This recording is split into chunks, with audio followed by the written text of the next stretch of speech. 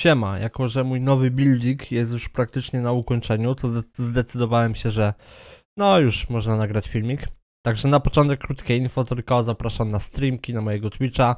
Streamuję codziennie, jeżeli mam wolne to w godzinach rannych, popołudniowych, jeżeli jestem w pracy to w godzinach popołudniowych. Dodatkowo, dla nowych ludzi, którzy nie wiedzą, możecie wejść na streamka za 10 tysięcy punktów kanału, jak zbierzecie za oglądanie, możecie sobie tutaj wykupić taką nagrodę i tutaj podajecie mi swój nick, ja rzucam okiem na waszego builda, razem z czatem wam e, pomożemy, podpowiemy coś, jak ulepszyć waszego builda, już bądź ja, może jak naprawić, jeżeli coś poszło nie tak.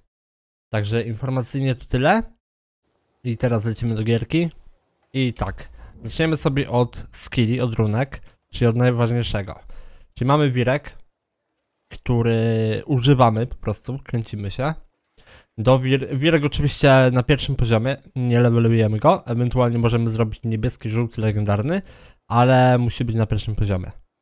I teraz tak, do wirka mamy regeneration, pod to, że e, mamy szansę na zgarnięcie regeneracji właśnie, 1% max HP, max mana, e, regen na sekundę. To muszę w ogóle wylevelować troszkę. E, Convert Lightning Damage to jest po to, żeby Wirek też zawsze użył jakiś, e, zrobił jakiś damage, bo wiadomo bijemy z Elementala, z Lightninga, Lightning Chainem.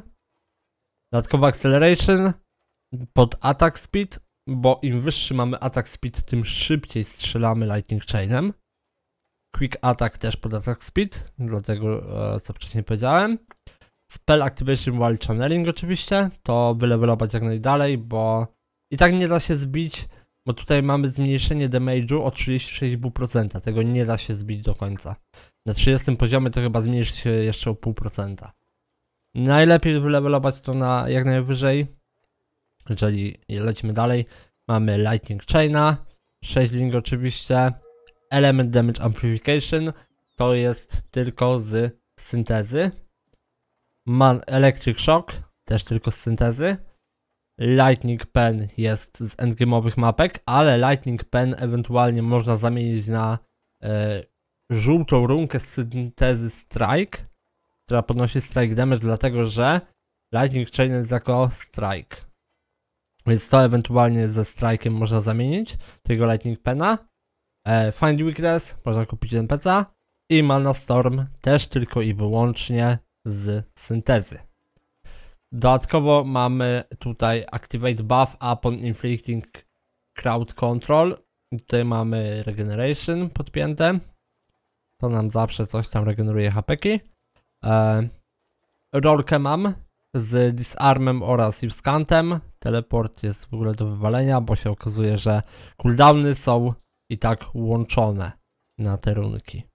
Więc nie można używać i tej i tej, trzeba albo tą, albo tą. Dodatkowo jeszcze używam tutaj release element, to jest e, aura na właśnie elemental damage. Także ze skilli to tyle. Jakby były jakieś pytania, to zapraszam albo na streamka, albo można oczywiście w komentarzu zapytać się.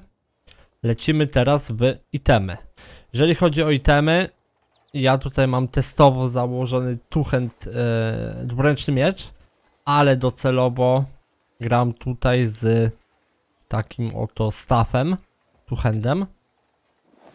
I tak, myślałem właśnie nad tym, żeby przejść na ten miecz, tylko że staff daje dużo większy crit rate.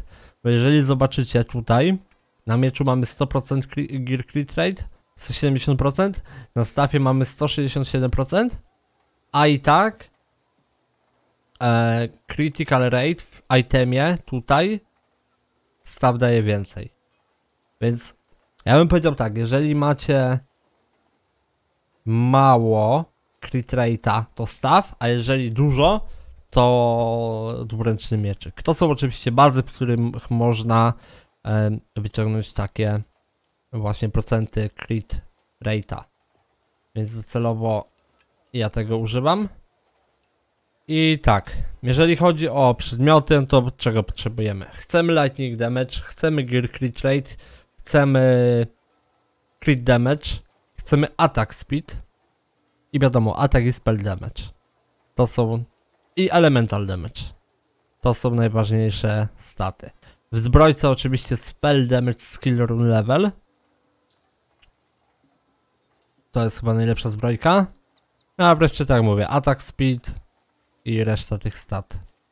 No to będzie nam najbardziej potrzebne. Przejdźmy sobie do charmów. Jeżeli chodzi o charmy to Castor Blessing oraz Akuben Blessing, dlatego że dają Elemental Damage oraz Lightning Damage. I tutaj mam zrobione trzy takie, trzy takie. I oczywiście tutaj mamy Spell Crit Rate jakieś, e, Elemental Damage, zależnie co się trafi, nie? Ale póki co mam trzy takie, trzy takie, będę się zastanawiał, czy nie będę zmieniał na dwa Castory i cztery Akubeny, dlatego że później tutaj taką kulkę można wrzucić, która daje 70% blessinga, blessingu. I jak mam teraz tutaj, ile ja tego mam? Mam 44, dodam 70, to i tak nie będę miał 140. Będę potrzebował jednego albo nawet dwóch dodatkowych czarmów, żeby zdobyć ten czwarty blessing na 35% lightning damage amplification. Także to, to jeszcze trzeba przemyśleć. Um, jeżeli chodzi o relik, to mamy tutaj Avatar of Boreal, dlatego że w sensie, można wziąć dwa reliki. Albo ten, to jest pod czyszczenie mapek szybsze, bo on bije dużo obszarowo. Tutaj mamy, yy, wiadomo, damage. Tutaj mamy Earth Shocka z Area of Effect oraz Skill Rune Cooldown Recovery. Zamiast tego, to ja na początku używałem Akubena, tyle że to jest moim zdaniem bardziej pod bossy. Jeżeli macie mega giga problem z bossami, to bierzecie tutaj mm, tego Akubena, dajecie damage, dajecie Lightning Orba, dajecie cooldown recovery speed oraz dodatkowy damage. Na początku tego używałem, ale tak mówię, to jest pod bossy, a ten tutaj jest pod czyszczenie mapek. Dodatkowo, jeżeli już macie jednego na 30, to levelujecie Avatar of Vesper jako kolejny pod tą pasywkę. Z tego co dostałem informację, to pasywka działa tak, że nie musimy mieć założonego, samonowanego tego serki, samonowanego awatara i ta pasywka będzie nam działać. Także to było na tyle. Mamy skille, itemy, awatar. Jeżeli chodzi o Zodiak, no to wiadomo, potrzebujemy dużo inta, troszkę stręża pod HP i armor. I jeżeli będziecie chcieli podmieczyk, to potrzebujecie 130 chyba 2 dexa. Tak więc tyle jeżeli chodzi o staty. I polecimy sobie teraz punkciki. Czyli tak, mamy damage upon spell.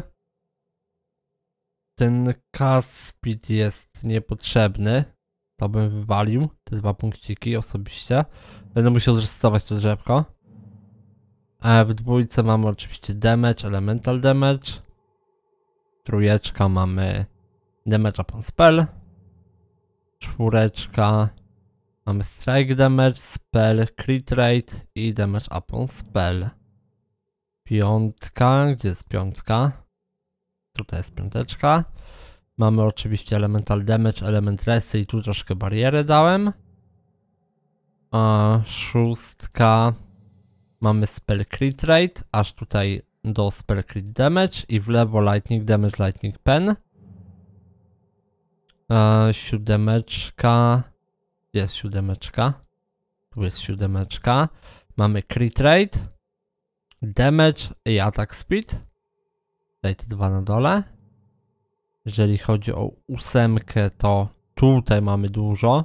Crit damage na two-handed weaponie, dodatkowy damage, crit rate, um, elemental damage, crit rate, attack speed. Tutaj, e, czekajcie, ósemka. Na razie tyle, bo to dodawałem chyba na końcu. A, tylko zerknę. O, to jest też dosyć ważne, bo tutaj alert movement mamy coś takiego, że nie spowalnia nas wirek jak się kręcimy. Także to jest też, trzeba tu dodać. Tutaj te punkciki. W tą manę teraz idę dopiero, więc to na samym końcu. E, ósemka, dziewiątki chyba nie ma, nie? Nie. Czyli teraz polecimy sobie tutaj. E, tutaj oczywiście dałem overpower, strike damage, acceleration. Kolejne dałem sharpness pod crit rate i crit damage. I później w lewo elemental damage. I ostatnie dałem e, lightning damage on every hit. 10% damage application i 8% mana cost amplification. Także to jest mój cały zodiak. Tyle. Chyba tyle. Chyba tak. Raczej wszystko. Także tak jak mówię, zapraszam na streamki. Jeżeli o czymś zapomniałem, to napiszcie w komentarzu. No i tyle. Do zobaczenia. Elo.